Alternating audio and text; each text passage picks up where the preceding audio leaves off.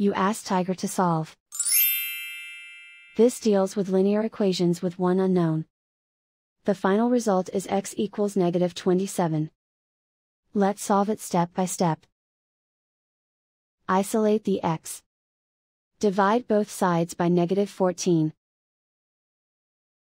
Cancel out the negatives. Simplify the fraction. Move the negative sign from the denominator to the numerator. Find the greatest common factor of the numerator and denominator. Factor out and cancel the greatest common factor. And so the final result is x equals negative 27.